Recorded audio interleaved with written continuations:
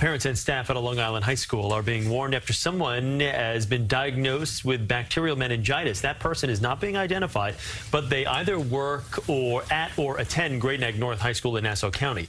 A letter from the superintendent's office says anyone with direct contact with the patient has already received separate notification. Meningitis is a bacterial infection that is spread by close contact.